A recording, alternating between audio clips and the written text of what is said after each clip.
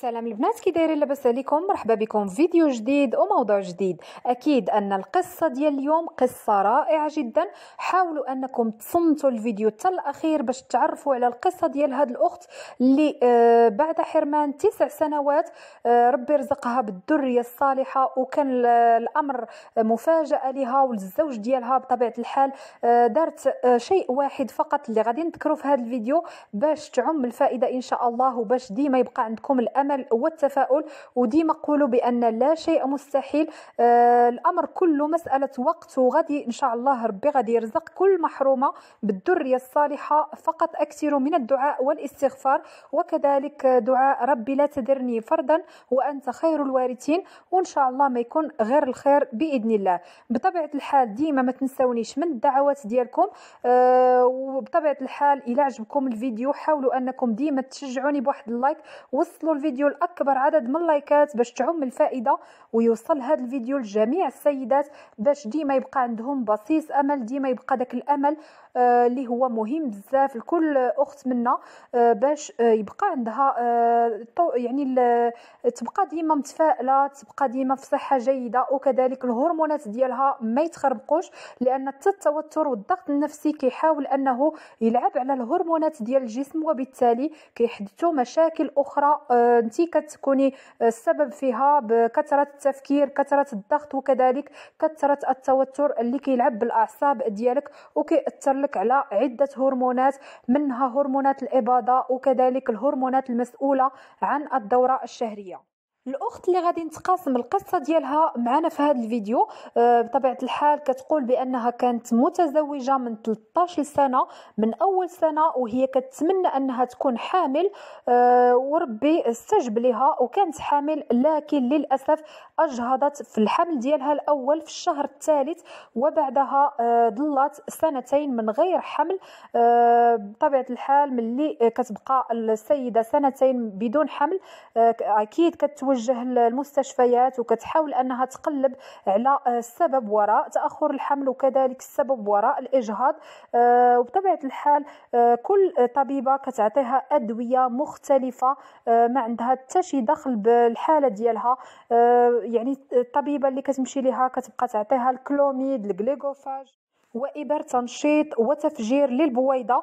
آه، بطبيعة الحال آه، تبعت عدة طرق تبعت هذه الأدوية بدون فائدة بل بالعكس كانت كتأثر على الصحة ديالها وعلى النفسية ديالها خصوصا ملي كتبع آه، المدة ديال العلاج وما كيحدثش الحمل. من بعد كذلك تبعات الطب الشعبي تبعات كذلك أطفال الأنابيب. ما خلات ما دارت. يعني جميع الطرق وجميع الأشياء استعملتهم. هذه السيدة هذه وما حدثش عندها الحمل. من بعد الحمل ديالها الأول حملات أربع مرات وكلها إجهاضات متكررة.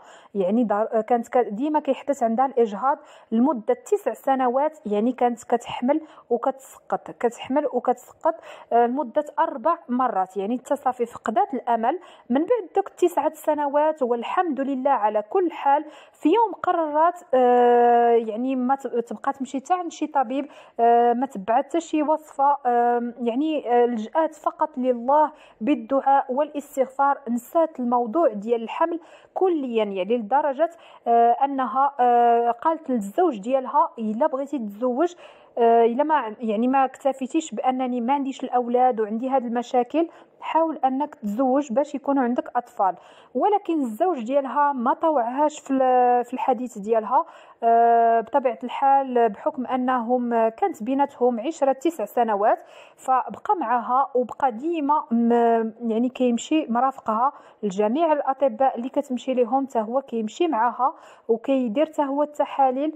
آه، دارت الأشعة بالصبغة والزوج خدا منشطات للسائل آه، وكان كيشاركها في كل حاجة. سبحان الله بعد التعب تركوا هذا الأمر لله والله كأنه آه، يعني كتقول كأنه حلم يعني وكانت كتحلم بأنها جاها الخبر ديال الحمل ديالها يعني آه، فقدت الأمل. تسع سنوات من الانتظار ومن العذاب ومن جميع الأشياء اللي جربتهم ومن بعد ملي تركات الأمر كله بيد الله ربي رزقهم وجاها الخبر خبر ديال الحمل ديالها. سبحان الله بعد تسع سنوات من التعب آه، بعد هذه الإجهاضات المتكررة بطبيعة الحال ربي رزقهم على الصبر ديالهم على المجهود اللي كانوا كيقوموا به وكذلك على اليقين ديالهم في الله بأن كل شيء بيد الله. بطبيعة الحال هو اللي غادي يرزقك بالذرية الصالحة. آه، رزقهم بعبد الله والعمر ديالو آه، كتقول الآن ثلاث سنوات وستة أشهر. ربي رزقهم بعبد الله من غير ولا علاج يعني من غير أي حاجة لدرجة قبل ما أنها تحمل بعبد الله آه، يعني الدكتورة قالت لها مستحيل أنك تحملي من غير هرمونات أو منشطات. يعني هذا هو هو كلام الأطباء. إما الهرمونات إما المنشطات ديال الاباضه باش زعما كتخرج لك عدة بويضات في الشهر وكيكون هناك حدود أوفر لحدوث الحمل. بطبيعة الحال أن المنشطات كتكون كتجيب نتيجة إيجابية مع السيدات وبعض السيدات ممكن أنها ما تعطيش نفس النتيجة وكيبقى هنا الامل الامل كيتفقد وكذلك الثقة بالطبيب كتفقد وكذلك آه، السيدة كتدهور الحالة النفسية ديالها بالخصوص وكذلك الصحة ديالها والهرمونات ديالها كل شيء كيولي آه، غير آه، يعني ماشي في محله. وخصوصا أنها جاها تكيس بفعل أنها كانت كتاخذ المنشطات عدة مرات فقالت أنها مستحيل تحمل. يعني آه، الطبيبه أكدت لها هذا الأمر. آه، مع الأسف مجموعة من الأطباء كيحاولوا أنهم يفشلوا المريضات ديالهم كيحاولوا أنهم يبيعوا الأدوية كيحاولوا أنهم آه، يديروا الخدمة ديالهم. يعني كيقولوا بأننا إلا ما عطيناش الدواء راه ماشي أطباء فهذا هو الخطا الكبير اللي كيديروه الأطباء. يعني ممكن سيده تحمل بدون منشطات وكينوضوا يعطيوها المنشطات وبالتالي كتقدر تسبب لها هذه المنشطات تكيس في المبيض. بل وربما استثارة المبيض آه، وبالتالي آه، تأخر في الإنجاب اللي كيبقى عدة سنوات متأخر باش كيدوزوا للمرحلة الأخرى اللي هي أطفال الأنابيب أو الحقل المجهري.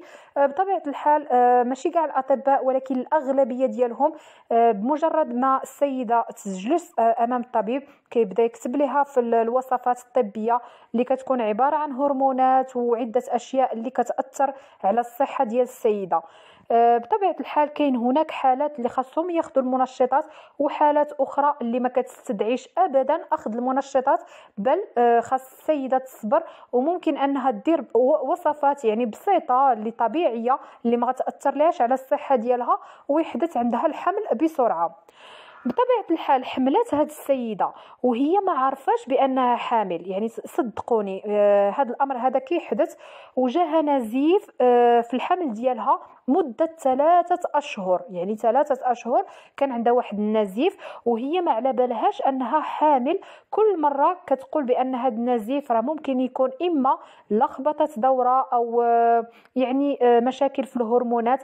داكشي باش كيجيها هذا النزيف. ما جاش في بالها واحد في المية أنها حامل. تعبات يعني آه تعبات واضطرت أنها تروح للمستشفى وأول مرة أنها تدخل عند الدكتور ديال الأسنان ويسألها آه يعني واش أنت حامل يعني كانوا الأسنان ديالها كيألموها ومشات عند طبيب الأسنان باش آه يعني تعالج المشكل ديال الأسنان ديالها. والطبيب ديال الأسنان قال لها واش انت حامل ولا لا. بطبيعة الحال غيسول هذا السؤال على حساب البنج يعني باش يعطيها البنج الموضعي أو لا أو لا في حالة الحمل ما غاديش يعطيها قالت له لا أنا ماشي حامل أه بطبيعة الحال قال لها أنا ما نقدرش نستخدم البنج أو ندير لك شي أي حاجة أه لحد أنك ما تأكدي أه واش أنت حامل ولا لا. مشات على ود هذا الأساس أنها باش تعالج الأسنان ديالها وسبحان الله مشات دارت التحليل ديال الحمل ولقات بأنها حامل حدثت المعجزة. يعني أه ما قدرتش ما قدرتش أنها تستحمل هذا الخبر هذا أه انفجرت بالبكاء. البكاء ويعني والدموع في العينين ديالها آه، بطبيعة الحال سبحان الله آه، كانت المفاجأة ثلاثة أشهر وكانت كتعاني من نزيف وما كانتش عارفة راسها حامل وتبين أنها حامل. فكنقول لها ألف مبروك على الحمل ديالها وشكرا لها على القصة اللي تقاسمتها مع الأخوات ديالنا باش يبقى ديما عندهم الأمل والقناعة بأن كل شيء رزق من الله. آه، حنا فقط كنسببوا الأسباب ولكن التوكل على الله كيبقى هو الأساس. كان هذا هو الفيديو ديال اليوم. نتمنى نكون فيدتكم ونتمنى أنني نكون قدمت معلومة فادت الأخوات ديالي علاش لا؟ أه ونتمنى تكون في الميزان ديال الحسنات ديالي وشكرا لكم على الحب ديالكم والتتبع ديالكم للفيديوهات. أه إلى عجبكم الفيديو بطبيعة الحال خليوا لي واحد اللايك.